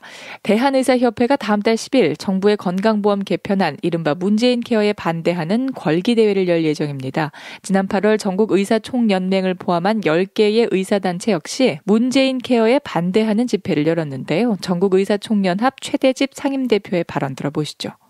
의원급 의료기관하고 어, 2차 병원급 의료기관이 경영상에 심각한 타격을 받을 겁니다. 피해는 결국 국민하고 가는 겁니다. 문재인 케어는 미용과 성형을 제외한 거의 모든 진료에 건강보험 혜택을 적용하는 방안을 골자로 하고 있습니다. 난임 치료나 자기공명 영상, MRI를 포함한 비급여 항목을 건강보험으로 지원해 국민들의 부담을 줄이겠다는 계획인데요. 이에 대한의사협회는 비급여 항목을 급여 항목으로 전환하면 건강보험 재정이 부실해진다. 국민의 보험료 인상이 불가피하다라고 반발했습니다. 자유한국당은 역시 재원 대책이 없는 세금 세금 먹는 하마다 이렇게 문재인 케어를 비난했는데요. 정부는 2022년까지 30조 원을 투입해 건강보험 보장률을 70%까지 끌어올릴 방침입니다. 이를 위해 정부는 건강보험 누적 적립금 21조 원 가운데 10조 원을 활용하고 국고 지원을 확대한다는 목표를 내놨습니다. 하지만 의사협회 사나 의료정책연구소는 정부 추계보다 약 4조 원이 더 필요하다고 보고 있습니다. 자유한국당은 문재인 케어를 실행하기 위해서는 내년에 약 3조 원의 국가지원금이 추가로 투입돼야 한다고 주장했는데요. 서울신문은 이런 주장들은 과대 추계된 것이라는 지적이 나온다고 꼬집었습니다. 요양기관에 따라 MRI나 초음파가 전체 비급여 항목에서 차지하는 비율이 다른데요. MRI나 초음파가 높은 비율을 차지하는 종합병원급의 비급여 비율을 사용해 재정 부담을 크게 잡았다는 지적이 나옵니다. 또한 정부는 2020년까지 비급여 비율을 단계적으로 급여화할 계획이며 급여 항목이라고 해서 건강보험이 비용을 100% 부담하는 것도 아닙니다. 항목에 따라 예비급여 제도를 도입해 본인 부담률을 차등 적용할 계획인데요. 한국당의 주장에는 이런 계획들이 반영되지 않은 것입니다. 한편 의사협회가 문재인 케어 반대 걸기대회를 예고한 것에 대해 일각에서는 이런 분석이 나오네요. 의사협회가 협회장 선거를 앞두고 있다. 선명한 노선 투쟁이 불가피한 상황으로 보인다. 지금까지 아프니까 팩트다였습니다. 찬바람이 싸늘하게 불어올 때는 따뜻한 새싹당 공차. 풍부한 아스파라긴산과 레스베라트롤, 그리고 그 어떤 차도 따라올 수 없는 고소한 맛. 따뜻한 새싹당 공차로 하루를 시작하면 참 좋습니다. 이런 환절기에 아, 기분 좋은 차 모금 새싹당 공차. 티백 2 플러스 1 행사는 계속됩니다. 새싹당 공차는 인터넷 전창걸 몰닷컴에서 구매하실 수 있습니다. 전화 구매는 070-8635-1288, 070-8635-1288. 엄마, 이따가 독서실 갔다 올게. 현미 쌀국수 해줘. 여보, 우리 남도 여행 갔을 때 먹었던 나주곰탕 생각난다. 알았어. 내가 남도 먹거리 쇼핑몰에서 한 방에 해결하지. 남도 먹거리 쇼핑몰의 국민건강 프로젝트. 전통 방식 그대로 100% 한우 나주곰탕과 현미 쌀국수로 가족의 건강을 책임집니다. 남도 먹거리의 특판 4종 세트를 만나보세요. 다음 포털에서 남도 먹거리를 검색하시거나 주문 전화 1544-1669 1544-1669로 전화 주세요. 운전자를 위한 꿀팁 7,000원 운전자 보험 카페 알고 계세요? 교통사고가 나면 형사합의금, 벌금, 변호사 비용 이거 자동차 보험에서는 보장 못해요. 운전자 상해까지도 책임져 드리는 7,000원 운전자 보험 카페. 버스, 택시, 트럭 등 영업용 차량 운전자를 위한 12,500원 운전자 보험 카페도 있습니다. 실손, 부모님 건강, 자녀 보험도 안내해 드립니다. 02849-9730 연중 무휴라 언제든 02849-9730 어머님 아버님 오래오래 건강하세요. 개업 축하합니다. 온세다 잠드소서. 결혼을 축하합니다. 형부 우리 언니 반품은 안 됩니다. 차장 승진하신 주과장님 주차장 되신 거 축하해요. 우리 같이 산 게 벌써 7년이나 됐네. 썩 짜릿했던 시간이었어. 태어나서 처음으로 여자에게 보내는 꽃이야. 너랑 닮은 꽃. 생일 축하해. 사랑과 축하. 위로가 있는 곳에 좋은 사람과 플라워. 1566-0263 1566-0263입니다.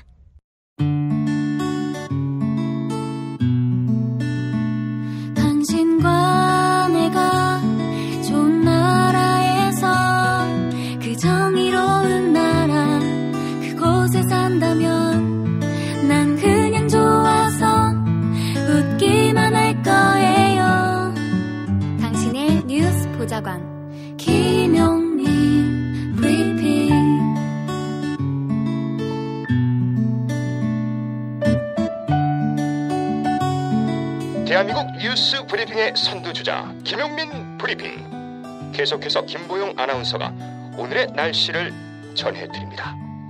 날씨를 전해드리겠습니다. 오늘은 겨울의 첫 번째 절기인 입동인데요. 아침 기온은 서울 10도, 광주 9도, 대구는 5도로 어제보다 많게는 6도가량 높아 큰 추위는 없겠습니다.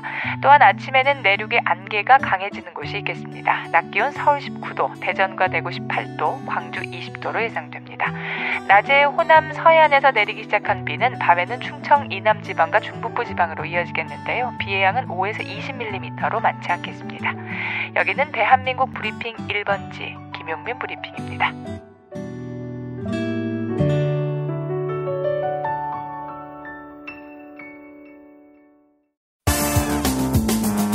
오늘을 읽는 책 문학평론가인 국민대학교 국문학과 정선태 교수와 함께합니다. 정서태 교수님과 함께하겠습니다. 교수님. 네, 안녕하세요. 이쯤 되면 우리 교수님도 유명세를 좀 느끼실 만도 한데 알아보는 분이 없던가요? 아, 전혀. 전혀 없습니까? 네, 아하. 저는 유명해지는 것 바라지도 않고요. 네. 숨 가시고 귀찮습니다. 아이, 별 말씀 다 하십니다. 아니, 이렇게 우리 방송에서 대한민국을 대표하는 인문학자로 이렇게 소개를 했는데 제가 봤을 때는 교수님이 지금 거짓말을 하시는 것 같아요. 아, 별 말씀. 예. 아, 교수님 책을 사보고 싶다 이런 분들도 많이 계신데 많은 책을 내셨잖아요. 뭐 어쩌자다 보니까 그렇게 됐죠. 교수님, 다 중요한 책이고 다 소중한 책이지만 나를 이해하려면은 이 책을 통해서 일단 입문하라. 어, 이런 차원에서 소개해 주실 만한 책 없습니까? 아직 이해를 받기가 이릅니다. 아, 그렇습니까? 네. 나중에 기회 다음에 말씀드리죠. 네, 알겠습니다. 자, 교수님 오늘 어떤 책 소개해 주시겠습니까? 네, 오늘 어제 이어서 실상사에서 날아온 책 두 번째입니다. 네. 오늘은 로버트 울프라는 인류학을 공부한 심리학자가 쓴 책인데요. 예. 예, 오래된 진리입니다. 음, 오래된 진리. 네, 그렇습니다. 그 말레이시아에 있는 원주민 세노이족과 함께 한 10년을 보내면서 어. 그 부족들의 삶을 통해서 들여다본 음. 우리 인간의 오래된 지혜들, 삶의 모습들을 잔잔하게 펼쳐놓고 있는 책이네요. 예. 오래된 미래라는 책은 왜 이렇게 알잖아요. 예. 마다크로부터 배운다라는 부제가 달려 있는 예. 오래된 미래라는 말이 뭐냐라고 가끔 물어보면은 대단히 반어적이에요. 미래와 올해가 함께 나란히 있다는 게 좀 낯설죠. 예. 인류의 현재와 미래를 알기 위해서는 또 바람직한 방향으로 우리가 미래를 설정하기 위해서는 과거에 기댈 수밖에 없다는 것이고 예. 또 오래된 과거에서 인간의 지혜, 인류의 지혜들을 모아서 미래를 설계할 수 있어야 된다라는 정도로 이해하시면 될 것 같아요. 음. 오늘 여기에는 현재 인류 문명이나 좀 미래의 인간의 삶에 대한 어떤 불안 같은 게 도사리고 있겠죠. 예. 오래된 미래에서 이 호지라는 사람이 라다크 부족을 통해서 인류의 미래상을 제시했듯이 음. 이 로버트 홀프는 오래된 진리라는 책에서 세노이족의 삶을 통해서 인류의 미래 비전을 제시하고 있는 것 같습니다. 예. 그래서 이 인류학을 공부한 심리학자라고 소개를 했는데요. 인류학 관련 책을 읽다 보면은 참 낯설 때가 많습니다. 우리의 삶하고 워낙 다르니까. 예. 문화가 다양하다는 것을 인정하면서도 아, 이렇게 다를 수가 있는데 어떻게 우리의 미래가 될 수 있지? 이렇게 고민할 수도 있습니다. 예. 그럼에도 인류의 본성에 대해서 깊이 고민해 본 사람이라면은 아, 그런 삶도 인류의 삶이고 그런 삶이 만약에 맞다면 그리고 지금 현재 우리가 살고 있는 삶이 전부가 아니라면은 음. 그 삶을 통해서도 미래를 구상하고 상상할 수 있겠다라는 생각을 할 수 있을 겁니다. 몇십 년 전까지만 해도 우리의 삶과 멀어 보이지 않는 그런 모습들도 곳곳에서 찾아볼 수가 있습니다. 예. 제가 60년대에 태어났으니까 60년대 그 시골의 풍경을 생각하신다면은 여기 세노이족의 젊은 모습들이 그렇게 낯설지 않게 다가올 때도 있습니다. 책을 펼치면 인생이란 무엇인가요? 하면서 급류에 떠 있는 얼음덩이를 타고 강을 건너는 것이랍니다. 라고 대답하는 구절이 있는데요. 이처럼 인생이란 시시각각 변하는 환경 속에서 균형을 잡아가는 일이라고 생각할 수 있을 거예요. 예. 근데 이 시시각각 변해가는 삶에서 우리는 어떤 지혜를 바탕으로 살아갈 것인지 하나의 아이디어를 얻는데 이런 오래된 그 부족들, 지금도 존재하는 고대인의 모습을 간직하고 있는 그런 사람들의 삶의 지혜를 통해서 미래를 가늠해 볼 수도 있지 않을까 그런 생각을 합니다. 예. 예를 한번 들어볼까요? 예, 예. 당장은 이렇게 마음속에 다가오지 않더라도 한번 상상의 날개를 펼쳐보시기 바랍니다. 음. 조금만 읽어보겠습니다. 우리가 보기에 몹시 빈곤하다고 생각되는 그들은 사실은 그다지 많은 일을 하지 않고도 배고픔 없이 잘들 살아간다. 그들은 일정한 직업도 없고 규칙적으로 일하지 않으며 다른 사람들 밑에서 일하지도 않는다. 즉 누구의 지시나 명령을 받고 행동하지 않는 완전한 자유인들이다. 그들은 농사를 짓지 않는다. 가축들을 돌볼 필요도 없다. 그들은 자신이 가장 잘하는 일을 하면서 시간을 보낸다. 어떤 이들은 물건 만드는 것을 좋아해서 배를 만들기도 하고 옷감이나 항아리 또는 목공의 품을 만들기도 한다. 어떤 이들은 사냥이나 낚시를 좋아한다. 다른 세계와 소통하는 일에 재능이 있는 이들은 사제나 주술사, 치료사가 된다. 그들은 우리가 흔히 생필품이라고 부르는 것 없이도 잘 살아간다. 그러나 우리가 그들에게 가서 문명을 전해주자마자 그들은 극도의 빈곤과 질병에 시달리게 되었다. 문명의 전파를 내세우며 세계의 오지에 들어간 서구인들은 원주민들에게는 없는 온갖 병균이 자기들의 신발에 가득 묻어 있다는 사실을 전혀 의식하지 못했다. 유감스럽게도 이 같은 일은 전 세계 모든 원주민 마을에서 공통적으로 일어났으며 지금 이 시간에도 그렇다. 네, 이렇게 쓰고 있습니다. 예. 그러니까 우리가 문명 있는 시선을 보면은 대단히 가난해 보이고 삶의 규칙성도 없어 보이고 일정한 일도 없이 빈둥거리는 것 같고 그렇지만은 현재를 즐기면서 그들만의 언어로 삶을 행복하게 영위하고 있다는 것을 알 수 있다는 거죠. 음. 그러니까 우리들의 삶이 전부가 아니라는 겁니다. 예. 제가 언젠가 말씀드렸는지 모르겠는데 인류학의 고전들이 우리 현실의 삶을 변혁하는 강력한 잠재력 또는 에너지가 된 적이 종종 있습니다. 예. 예를 들면 여성 해방, 인간 해방을 전제로 한 이 여성 해방만 해도 이 미국의 인류학자인 마가렛 미드라는 사람이 쓴 책 한 권, 세부족 사회 삶과 기질이라는 책 한 권이 하나의 놀이새 역할을 했고요. 그 사회에 살고 있는 사람들의 젠더 문제가 음. 우리가 이 남성은 남성이고 여성은 여성이고 하는 그 고정 관념 자체를 뒤흔들어 버렸습니다. 예. 이런 것처럼 오래된 진리를 깨안고 살아가는 사람들의 삶의 모습들이 우리의 삶을 바꿔 나가는데 하나의 이정표 역할을 할 수도 있겠죠. 예. 그리고 이어가다 보면은 군데군데 재밌는 에피소드들이 아주 많이 있는데 이 책들은 예를 들면 이 세노이족들은 글자를 전혀 모르는 부족이에요. 음. 대대손손 입에서 입으로 이어지는 기억을 통해서 자기 삶을 누려가고 있는 겁니다. 예. 그러니까 모든 것들을 글자로 표기하고 모든 지도로 장소들을 표시하는 것이 이, 이 사람들은 정말 낯선 거죠. 음. 그들에게는 책도 없고 당연히 뭐 신문도 없고 거리 게시판도 없고 지도도 없습니다. 그런데도 이 사람들은 다 기억하고 방향도 다 제대로 탐지해내고 그렇습니다. 삶에 필요한 것은 뭐 다 갖추고 있죠. 그게 바로 인류가 가지고 있는 잠재력들을 최대한 발휘하고 있다는 거예요. 예. 예를 들면은 요즘 내비게이션이 없으면은 낯선 곳을 찾아가기를 정말 힘들어 하잖아요. 예. 우리의 기억력이나 지리를 인식하는 능력들을 내비게이션에 우리는 의탁해 버리는 거죠. 예. 예를 들면 노래방을 하도 자주 다니다 보니까 그 한두 곡을 외워서 제대로 부를 수 있는 사람도 많지가 않죠. 요즘에는 음. 전화번호도 외우는 게 몇 개 안 될 정도로 소수인 경우가 많습니다. 우리 김 PD 몇 개나 외우신지 모르겠는데 저는 전화번호를 딱 두 개밖에 못 외웁니다. 이상해요. 그게 간절함이 없어서 그런지 음. 외우지 못하겠어요. 몇 년 전만 해도 이러지 않았는데 그렇잖아요. 음. 이처럼 기억력들을 다 이런 기계들의 문명의 이기에 맡겨버림으로써 우리의 능력들, 여러 가지 감각 능력이나 이 기억 능력까지를 다 하나씩 하나씩 양도하고 있는 셈이죠.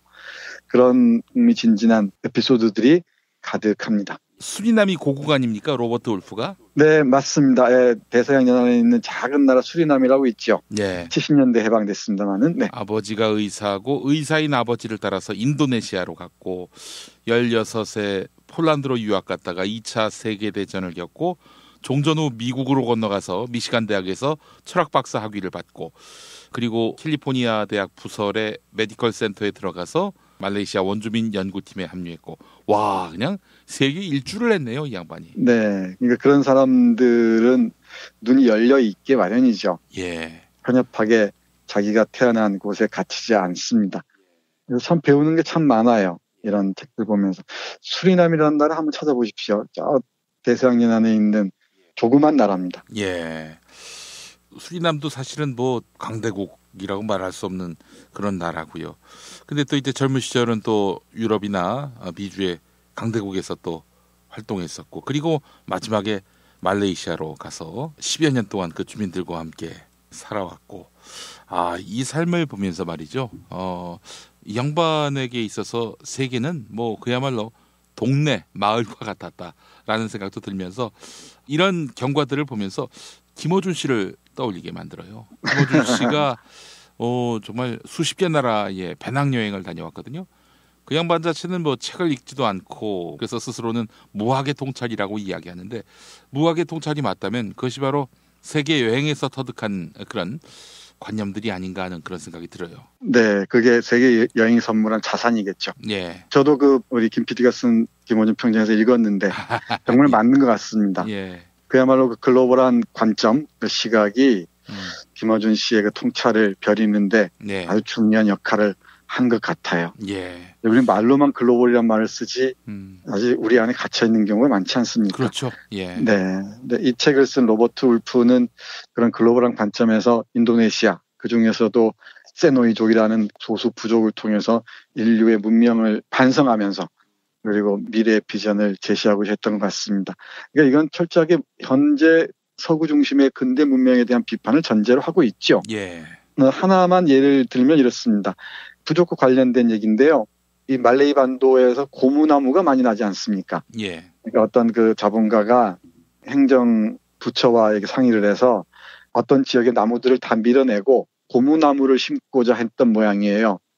근데 이 고무나무를 자연에 채취하는 게 아니고 대규모로 재배하고자 했던 것 같죠. 그러니까 여기에 대해서 원주민이 이렇게 항의를 합니다. 고무나무가 수령이 보통 40년이라고 그러는데 40년 동안 고무나무가 있는 곳이면은 대지가 완전히 고갈될 거 아니에요. 대지의 생산력들이 음. 그걸 염두에 두고 한번 들어보시면 좋을 것 같습니다. 한번 보겠습니다. 짧게 읽어볼게요. 예. 사람들은 밀림에 나무가 빽빽이 들어차고 다양한 종의 식물들이 자라는 게 땅이 비옥해서라고 생각합니다. 하지만 그렇지 않습니다. 식물을 잘 자라게 하는 것은 흙이 아니라 다양한 수종입니다. 한 식물이 땅에서 영양분을 빼앗아 가면 즉시 다른 식물이 그것을 보충해주고 그 나무엔 또 다른 나무가 보충해줍니다. 결국 밀림에서 다양한 식물이 자랄 수 있는 것은 흙이 좋아서가 아니라 맑은 공기와 알맞은 습도 그리고 식물 상호 간의 소통 덕분입니다. 네, 이렇게 얘기해요.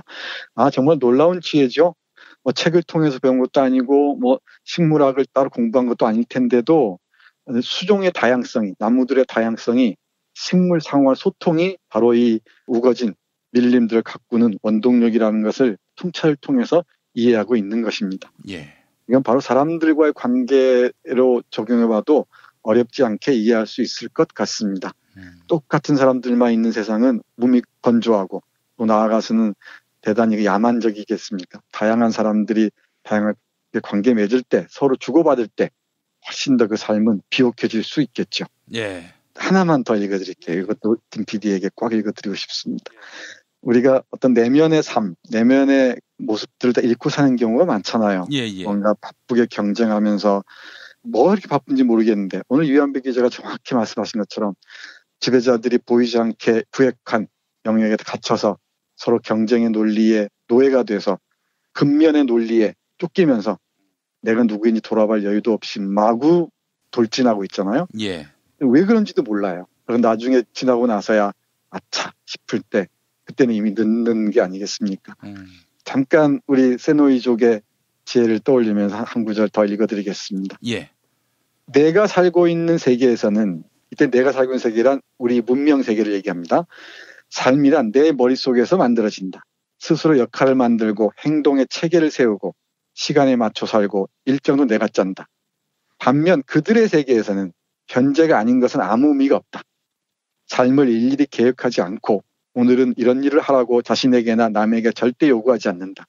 그들에게 있어 하루하루는 자신들이 채워가야 할 백지와 같은 것이다. 나는 직관이나 영감 같은 내면의 소리에 귀를 기울이며 사는 삶이 어떤 것인지 느껴보려고 애를 썼다. 우리의 세계에서 그렇게 사는 것은 불가능하다. 우리는 일정표와 약속에 의지해 살아간다. 시간에 맞춰 식사를 하고 마감 뉴스가 끝나면 잠을 자러 간다. 우리의 세계에서는 사회가 규정한 방식과 다르게 살 수 없다. 어렸을 적부터 우리는 미래에 대해 생각하고 착실하게 계획을 세우라는 말을 듣는다. 우리들에게는 자기가 무엇을 원하는지를 아는 게 얼마나 중요한 일인지를 못이 박히도록 각인시킨다. 태어난 순간부터 현실과 상상을 구분하는 법을 배운다. 아무것도 갈구할 필요가 없고 자신을 마냥 풀어둘 수가 있으며 어디서든 먹을거리를 찾을 수 있는 세상에서의 삶은 어떤 모습일까? 흥미로운 외부인이 찾아왔을 때 아무 걱정 없이 그와 마음 놓고 시간을 보낼 수 있는 세상에서의 삶은 어떠할까? 오로지 현재만 생각하며 사는 사람은 어떤 인생을 보낼까? 네, 이런 물음을 던지면서 서서히 마무리합니다. 확실하지 않는 미래를 위해서 현재를 헌납한다는 것은 세노이 족에게는 있을 수 없는 일입니다. 예. 지금 현재를 즐기면서 아는 사람들과 정말 행복한 얘기를 나누면서 살아가는 모습을 그대로 아주 오래전 사람들의 모습을 그대로 간직하고 있는 삶을 통해서 우리 로버트 울프는 오래된 지혜를 배우는 것 같습니다. 아, 무분별한 개발 논리 틈탈 여지가 없네요. 보니까. 네, 그렇습니다. 알겠습니다. 돈이 곧 행복일 수 없다라는 통찰 그리고 자신의 삶에 대한 그런 긍정 이런 것들이 느껴집니다. 네, 맞습니다. 우리 김 PD가 얘가 정말 훨씬 저보다 더 풍부한 것 같습니다. 풍요로운 것 같습니다. 맞습니다. 자, 교수님 오늘도 말씀 잘 들었고요. 내일 또 뵙도록 하겠습니다. 네, 고맙습니다. 한글도 남보다 빨리 깨치고 참 똑똑했는데 갈수록 실력이 뒤처지는 것 같아 걱정이에요. 혹시 초등학교 교과서 본 적 있어요? 어려운 어휘가 너무 많아요. 학교에서는 어휘 개념을 하나하나 설명해 줄 시간이 정말 부족하잖아요. 그럼 어떡하죠? 내 아이의 어휘만큼은 내가 책임져야죠. 어휘 공부의 정성. 초등어휘 3천, 초등어휘 5천. 검색창에 초등어휘 3천을 쳐보세요. 자, 이거 먹고 제가 한번 볼일 봐가지고 네. 바나나 나오는 바람에 원숭이들이 들고 그래가지고 네. 어우 한 몇십 마리가 달라붙어가지고 시겁했던 기억이 있습니다. 아침마다 원숭이를 불러 모으는 미궁 대장사랑이었습니다. 대장사랑 대장사랑 대장사랑 장실 장실 굿모닝 화장실 바나 바나 굿모닝 바나나 이준호동 희망센터 이사 권영국 변호사입니다. 이준호동 희망센터는 동남아시아 저개발 국가의 이주노동자들과 함께하고 있습니다. 시골 오지 마을에 학교를 만들고 마을 주민들이 공동체를 이루어 운영하도록 돕습니다. 포털 검색창이나 페이스북에서 이주노동 희망센터를 검색하시어 후원회원이 되어주세요. 노동 존중 생산과 소비를 통한 사회 연대를 추구하는 문자당이 함께합니다. 답은 이미 정해져 있으니 너는 대답만 해라고 하는 답정너. 아닌데. 답은 정치인데 너만 몰라. 이건데.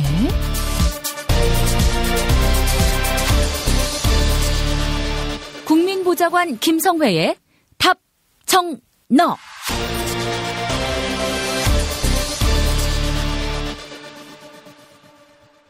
김성회 보좌관 나와 계시죠? 네, 안녕하세요. 예. 안철수 국민의당 전 대표가 지금 유럽에 가 있는데 국내 정치와 관련해서 참다 참다 못해서 페이스북을 통해서 입을 열었군요. 예, 외국 나가시니까 또 국내 정치 활동을 활발하게 하시네요. 보통 이렇게 하시는 이유가 나가 있으면 만날 수 있는 기자의 숫자가 한정되어 있고 외국이지 않습니까? 예. 일단 던져놓고 내용이 좀 부실하면 들어와서 아 그때 그런 취지로 말한 게 아닌데 보도가 잘못됐다 이렇게 이제 덮고 넘어가려고 하는 거고 당장 벌써 이제 복수 발언 관련돼서도 오늘 페이스북에서 해명했던데 그럴 용도가 있기 때문에 외국에 나가면 사람들이 좀 말이 항상 과격해집니다. 그래서 이제 뭐 이런 말도 있잖아요. 밤에는 웬만하면은 글을 올리지 말라. 감정적으로 격앙됐을 때, 심리적으로 뭔가 정돈이 안 됐을 때 올리는 글 이튿날 아침에 굉장히 후회하게 만든다. 어, 애인한테 보내는 편지도 웬만하면 밤에 작성하지 말라. 이런 얘기가 있잖아요. 네, 맞습니다. 술 먹고도 절대 하면 안 되는 게 SNS죠. 자, 어떤 말을 했는지 한번 좀 짚어주시죠. 예, 일단 그 3박 5일 독일 이스라엘 방문을 마치고 돌아가는 길에 썼다고 하면서 요즘 보기 힘든 힘들지만 오래 참고 있던 몇 마디를 하려고 합니다. 이런 말씀으로 시작을 하셨고 예.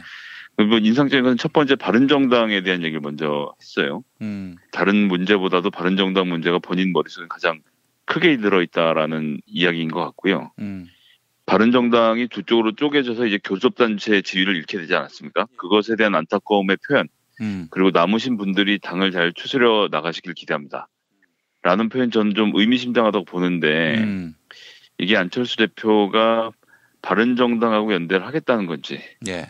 아니면 남으신 분들은 당을 잘 추스려 가시고 나는 김무성과 이야기를 하겠다는 것인지 좀 이제 약간 중의적인 의미가 있다고 좀 봤습니다. 어, 중의적인 의미. 네. 그렇게가 첫 번째였고요. 두 번째 이제 적폐청산에 대해서 반대니 찬성이 얘기를 쭉 하셨는데 예. 전 이걸 보면서 좀 극중주의에 대해서 다시 한번 생각하게 되는데요. 음, 청산과 결산은 꼭 필요하다. 음. 정권이 바뀌면 이는 필연적이라는 거 본다. 하지만 적폐청산 그 자체가 목적이 돼서는 안 된다라고 하면서 정부 운영 능력이 부족 할 때 이것을 덮는 수단이 되는 것을 경계하자라고 했거든요. 예. 근데 오늘 리얼미터가 발표한 여론조사 결과를 보니까 오히려 문재인 정부에 대한 국정 지지율은 상승해서 70%를 넘어섰어요. 그 짜다는 리얼미터 조사에서도 70%를 넘었습니다. 네, 그렇습니다. 이런 상황에서 정부 운영 능력이 부족하다고 생각하는 사람이 누가 있는지 지금 잘 모르겠고요. 그 다음 문장은 또 뭐 극중주의의 어떤 꽃이라고 보는데 적폐를 청산하는 것을 반대하는 것이 아니라 적폐 청산이란 정치 기술을 배척합니다 얘기하는데 아주 진짜 이런 얘기 좀 그만 들었으면 좋겠어요. 적폐를 청산하는 게 아니고 제가 뭐 어제도 말씀드렸지만 현 정부에 있는 범죄자들을 솎아내는 거거든요. 음.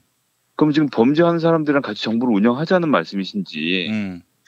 국정원에 파견 나간 검사가 국정원 편들어서 증거를 없애고 있는 판인데 이런 사람들 솎아내지 않고 어떻게 국정을 운영을 합니까? 예. 국민들은 누구를 믿고 지금 맡기라는 겁니까? 저는 그래서 도대체 이러시면 어쩌라는 건지 알 수가 없고요. 이어서 본인 입으로 복수를 하려고 집권한 게 아니라면 이러면 안 된다라고 얘기해놓고 복수는 어딩 본인 쓴 거 아니에요? 정치를 하루 이틀 하신 분도 아닌데 본인 워딩에 복수가 들어가 있으면 당연히 기자들이 복수를 워딩을 중심으로 잡아서 제목을 잡게 되어 있는 거 아니겠습니까? 음. 복수한다고 생각하고 얘기한 건데 지금 독일과 이스라엘 같은 나라들은 기술 혁명을 향해 모두 합심해 달리고 있는데 우린 못한다는 거 이렇게 말씀하시는 거잖아요. 음. 대통령 후보군 중에 드물게 이과라서 계속 기술 혁명 말씀하신 건 제가 알겠는데요. 좀 너무 갖다 붙이신다는 인상 지우기 어렵고요. 4차 산업혁명 포함해서 노무현 정부도 이 신기술 또 벤처기업 육성에 애를 쓰고 있고 그래서 중소 벤처기업으로 또 바꿔서 운영을 하고 있는데 음. 좀 이런 식으로 한 다음에 이 뒤에다가 이 민주당은 전 정부 전전 정부를 파헤치고 자유한국당은 노무현 김대중 정부를 뒤집으려고 혈안돼 있다. 복수를 하려고 집권한 게 아니면 이러면 안 된다고 본다라고 하는 거 이런 극중지에 국민들 지쳐간다는 거 좀 알아주셨으면 좋겠습니다. 그리고 이제 마지막으로는 본인 이제 당내 내분에 대해서 말씀을 하셨죠. 유성엽 의원이 바이버에 올린 글이라고 해서 지금 이제 공개가 됐는데요. 국민의당 지역위원장 바이버 방에도 올렸던 비공개 글을 밖으로 나와서 지금 이제 불거졌는데 유승엽 위원장이 이렇게 말씀하셨어요. 음. 전당대회 직후 제 방을 방문한 안철수 대표에게 한 말이죠 본인이 대선 패배 후 당대표 출마한 것도 비정상이지만 비정상적으로 출마했는데도 당선된 것은 당이 비정상이라는 것이다. 라고 이제 직언을 한 겁니다. 직언. 예. 삼선 의원으로 고언을 한 거예요. 음. 그리고 앞으로 어떻게 이 비정상을 정상으로 돌려놓느냐가 매우 어려운 과제라고 직언을 한 내용을 공개한 거거든요. 음. 근데 여기서 안철수 의원이 비정상이라고 하면 나를 찍은 모든 국민의당 당원들이 비정상이라고 보냐라고 전형적인 부풀리기를 하고 계시고 저는 이 대목이 오늘 이 페이스북에서 가장 중요한 메시지라고 보는데요. 음. 호남하고 더 이상 같이 하지 않겠다라는 복선을 깔았다고 봅니다. 어. 뭐 그분 소개해드리면 이런 비정상의 언급들 속에는 늘 전가의 보도처럼 호남 민심이 동원됩니다. 음. 하지만 제가 듣는 호남 지지자들의 목소리는 국민의당이 더 강해져서 전 국민의 사랑을 받는 정당이 되고 집권의 희망을 보여달라는 것입니다. 이렇게 말을 하거든요. 음. 민주당 들러리 서는 역할을 하다가 소멸되라고 요구하는 건 호남의 민주당 지지자들의 희망인 것입니다라고 얘기를 하셨어요 안철수 대표가. 예. 그런데 또 우리가 리얼미터에서 한 오늘 여론조사 결과를 보지 않을 수 없는데 광주 전라 지역에서 민주당이 62.5%의 지지를 받고 있고요. 국민의당은 자유한국당하고 똑같은 9.6%의 지지를 받고 있어요. 예. 이런 상태에서 호남 민심이 본인에게 가 있다라는 거 말하는 것도 좀 어불성설인데다가 그런데 이제 본인이 잘 피해가서 말을 했죠. 제가 듣는 호남 지지자들의 목소리는 다르다. 음. 호남 도민 중에 국민의당을 지지하는 사람이 9.6%입니다. 그 사람들의 목소리만 듣고 호남의 민심이라고 말하는 것은 말이 안 된다 생각하고요. 예. 그런 호남 민심을 무시한 채 호남 지지자들 목소리만 듣겠다고 하는 건 제가 보기엔 안철수 의원은 호남 민심은 더 이상 자기에게는 중요하지 않은 대상이라는 선언을 했다고 보고요. 음. 그 뒷두목에 나옵니다. 우리는 특정인 극렬 지지 세력의 온라인 여론 농단에 눈 돌릴 여유조차 없습니다. 국민의당과 안철수는 지금 우리 지지자, 좀 더 강해지면 지지하겠다는 잠재 지지자를 보고 묵묵히 걸어갈 것입니다라고 선언했잖아요. 이건 호남 민심에서 10%만 보고 가겠다는 것이고 예. 결국 호남 민심 보지 않겠다는 선언에 다르지 않습니다. 음. 그래서 제가 처음에 말씀드린 대로 안철수 의원이 바른정당하고 합당을 할 것인지 아니면 바른정당에게는 남으신 분들이 당을 잘 추스려 가시라고 격려를 한 후에 자유한국당과 거래를 할 것인지 이 부분을 좀 유심히 지켜봐야 된다라고 보고요. 이렇게 말한 이상은 호남 지역의 중진 의원들은 버리고 제가 보기엔 바른정당이 됐든 자유한국당이 됐든 어느 당이든 같이 연대를 해서 다음번 대권을 노리게 되지 않을까 좀 그렇게 예측해 보겠습니다. 예. 안철수를 이해함에 있어서 제일 중요한 것은 안철수 대표가 당을 소유물로 여기고 있다는 그런 관점. 아울러 당의 지분을 자신이 가장 많이 갖고 있다 라고 인식한다는 점. 그러니까 지분이 적은 자들이 자신에 대해서 사퇴하라고 요구하는 것은 부당하다고 여기는 거예요. 그 멘탈리티가 있습니다. 다음번에 나 말고 대통령 후보할 사람이 있어? 이런 선언인 거죠. 예. 그것을 중심으로 보고 있는 것 같습니다. 이런 인식이다 보니 국민의당은 지방선거 전에 몰락하는 것이 아닌가 하는 그런 관측도 어렵지 않게 할 수 있을 것 같습니다. 네, 이합 집산을 더 많이 할 것 같습니다. 좀 두고 봐야 되겠습니다. 바른 정당 잔류 세력과 함께 이렇게 정치를 할지 한번 좀 지켜봐야 될 일인데 아 근데 안철수의 그간의 행보를 보면은 바른정당에서도 의석수가 한 석이라도 좀 아쉬운 판이긴 하지만 하, 그래도 마땅치 않아 할 수도 있겠다 하는 생각이 들고요. 또 이런 관점도 갖게 됩니다. 그렇게 에, 민주당에 있을 때 문재인 후보를 흔들던 저 사람들이 거기 가서도 또 저러는구나 하는 생각 말입니다. 예, 한 번 흔들면 어디 가서 도 흔들게 돼 있습니다. 예, 예. 국민의당 지지자들 중에 57%가 문재인 대통령이 잘하고 있다고 국정을 지지하고 있어요. 음. 이 사람들의 목소리도 배제하고 당을 이끌겠다고 하면 도대체 누굴 데리고 하시겠다는 건지 전 정말 궁금하지 않을 수 없습니다. 시간은 내 편이다라는 인식, 그 인식의 근거는 또 무엇인지 묻고 싶고요. 그렇습니다. 예, 예. 자, 김성애 보좌관님, 어, 하나 더 얘기해 보자면은 박정희 동상 문제가 또 논란이 되고 있어요. 예, 박정희 도서관이 지금 이제 상암동에 위치해 있는데 마포구 저희 손혜원 의원 지역구죠. 예, 예, 예. 거기에 동상을 세운다는 뉴스가 지난 금요일에 일제히 보도가 됐습니다. 아, 시끄러웠어요. 네, 시끄러웠죠. 서울시가 기사를 보고 알았다는 거예요. 서울시도. 그 제가 알고 있기로는 어, 서울시가 임대를 했는데 그쪽에서 한 푼도 돈을 안 내는 걸로 알고 있는데 그 맞습니까? 임대와 관련된 문제는 좀 복잡하게 되어 있는데요. 서울시 땅에 박정희 도서관이 들어와 있는 것은 맞고요. 예. 박정희 도서관은 그 땅 전체를 살려고 하고 있고 서울시는 팔지 않는 입장에서 지금 서로 대치를 하고 있는 중이라서요. 아. 그래서 뭐 박정희 기념재단은 꿈도 크게 동상을 세우려고 하는데 제가 조언을 좀 하나 드리고 싶습니다. 예, 예, 예. 서울시는 법치로 운영이 되고 있고요. 서울시는 조례라는 게 있습니다. 네. 제가 이제 불러드릴 건데 재단에서 좀 잘 받아 적으셨으면 좋겠는데 예, 예. 서울시 동상 기념비 조형물의 건립 및 관리 기준 등에 관한 조례가 있습니다. 아, 서울시 내에 뭔가 조형물이나 동상을 세우려고 하면 이 조례를 반드시 참고해야 된다는 말이죠. 공공부지에 그렇습니다. 예, 예. 그리고 공유 재산 안에 지금 들어와 있고요. 박정희 도서관은. 서울시 땅에 있는 거니까. 네, 그렇죠. 예. 건립 인감이 신청을 하셔야 되고요. 그런 다음에 서울특별시 동상기념비 조형물 심의위원회에서 심의를 해서 설치를 결정해야 설치를 할 수 있습니다. 아하. 근데 서울시에서는 아무도 모르고 있었다고 말씀드렸잖아요. 당장 서울시에 가서 신청 절차부터 좀 밟기를 또 말씀을 드리고요. 예, 근데 뭐 헛된 시간을 낭비하시게 되는 결과를 좀 초래할 거라고 보는데요. 서울시에서 이런 동상 세우는 거 지금 허가해 줄까요? 저는 뉴스로 설레발은 쳤지만 해프닝에 그칠 확률이 높다. 이렇게 좀 전망해 보겠습니다. 공공부지에 특정 정치 지도자의 동상을 세운다. 이거는 뭐 말 그대로 서울시도 그 인물에 대해서 추앙한다. 이런 의미 아니겠어요? 그렇습니다. 게다가 따님도 지금 영어의 몸이 돼서 괴로워하고 계시는데 타이밍도 적절치 않은 것 같습니다. 일단 어, 무단으로 지어놓고 설마 이거를 철거하랴라고 생각할 수도 있을 것 같아요. 뭐 배짜라고 하시면 뭐 째드려야죠. 조례가 정해져 있는 이상은 그렇게 뭐 막무가내로 하지 못할 거라고 생각하고 있습니다. 네. 어서 내일이라도 빨리 재단 관계자들은 서울시에 뛰어가셔서 음.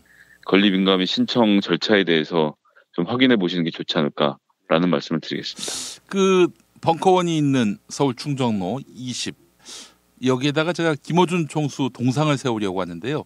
충정로의 웃음거리로 만들기 위해서. 일단 우리 김영민 PD님이 돈 많이 버셔서 건물을 사시고 예. 그 다음에 마음대로 하셨으면 좋겠습니다. 아, 예. 그 옆에다가 이명박 동상도 세우려고. 아 좋네요. 두, 두 분이 꼭 손잡고 있는 걸로 아. 부탁드리겠습니다. 그거의 시유지가 아니면 국유지가 아니면은 가능하다는 얘기죠? 제가 알기로는 그렇습니다. 아, 예. 알겠습니다. 자, 김성애 보좌관님 오늘 말씀 잘 들었습니다. 네, 감사합니다. 김용민 브리핑 2부, 김용민의 뉴스 브리핑 알고 계십니까? 지상파 라디오 서울 SBS 러브 FM 103.5와 부산 KNN 러브 FM 105.7로 매일 오전 6시 20분부터 40분 동안 함께 하실 수 있습니다. 새벽에 나온 새 소식, 당일 대한민국을 뒤흔들 핵심 이슈, 김용민의 뉴스 브리핑에서 미리 만나실 수 있습니다.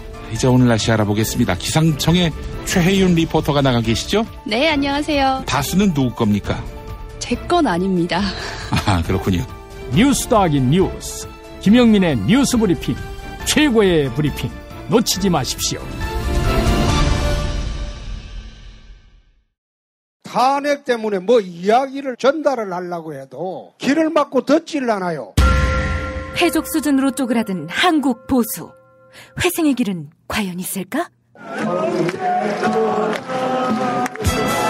변화된 정치 환경. 갈 길 잃은 보수에게 새로운 희망을 제시한다. 애국 보수의 화려한 부활과 집권을 위한 본격 가이드. 김용민의 신간. 보수를 지켜라. 진중권도 투표하는 보수 정당. 광주에서도 일당이 될 수 있는 보수 정당. 젊은이들의 입당이 줄을 잇는 보수 정당. 언제까지 민주당 정의당을 부러워만 할 것인가? 부러우면 진다니까? 자유한국당 당원 김용민이 쓴 보수를 지켜라. 이김에서 나왔습니다.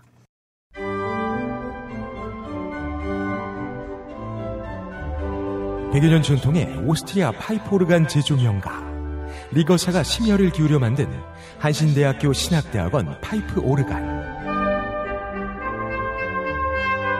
한신대 신학대학원에서는 2017 파이프 오르간 정기 연주회를 매주 월요일과 금요일 진행합니다. 세계적인 파이프 오르가니스트의 연주로 아름다운 클래식과 거룩한 교회 음악이 어우러지는 감동의 무대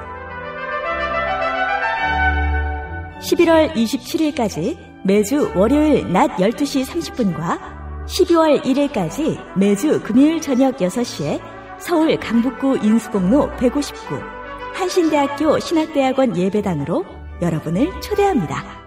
입장료는 없습니다.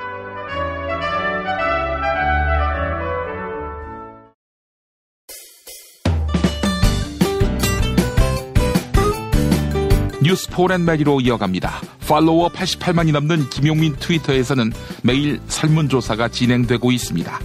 지난주 금요일 자유한국당이 박근혜 전 대통령을 제명했습니다. 이에 홍준표 대표와 친박계의 갈등이 격화되는 양상을 보이고 있는데요. 앞서 친박계의 좌장 서청원 의원은 검찰의 성완종 리스트 수사가 시작되자 홍준표 대표가 도움을 요청했다. 이렇게 밝히며 녹취록이 있음을 시사했지요. 또한 어제 서청원 의원은 구태 정치인 홍준표 대표를 당에 놔두고 떠날 수는 없다. 책임을 다하고자 한다. 이렇게 밝혀서 녹취록 공개가 임박했다는 전망이 나오고 있습니다. 녹취록이 실제 존재하는지 여부에 대해 시민들은 어떻게 짐작하고 있을까요? 오늘 새벽 5시까지 모두 2,563분이 설문조사에 참여해 주셨습니다. 56% 절반 넘는 시민들은 녹취록이 있지만 홍준표 대표와 물밑에서 거래 중이다. 이렇게 예상하고 있네요. 반면 21% 시민 5명 가운데 1명은 녹취록은 처음부터 없었다. 이렇게 응답해 주셨습니다. 녹취록이 있지만 그 내용은 시시한 것이다. 이런 의견은 17%, 녹취록이 있지만 때를 보는 것이다. 이런 의견은 6%로 나타났습니다. 트위터를 통해서 의견 남겨주신 분도 만나볼까요? 고인규님, 짜고 치는 고스톱이다. 안종원과 더불어민주당님, 칼은 칼집에서 꺼낼 듯 말 듯 할 때가 가장 무섭다. 이때 거래했겠지. 이런 견해 남겨주셨습니다. 설문조사에 참여해주신 여러분, 감사합니다.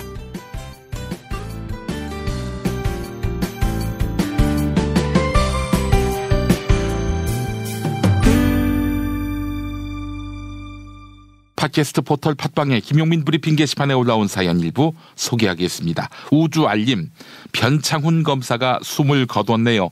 참 영화 같은 일이 벌어졌습니다.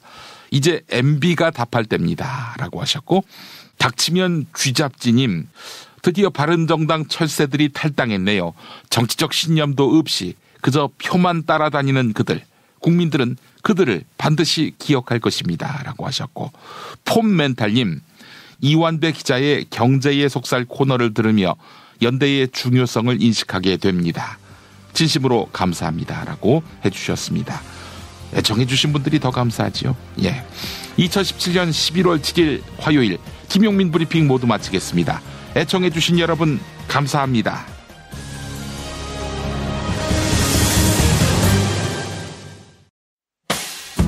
김용민 브리핑과 함께한 시간 어떠셨어요? 다음 시간에도 보다 바르고 알차며 즐거운 정보로 여러분을 찾아가겠습니다. 팟캐스트 포털 팟빵에서 다운로드하기, 구독하기, 별점 주기, 댓글 달기로 응원해주세요. 잊지 마세요. 다운로드하기, 구독하기, 별점 주기, 댓글 달기.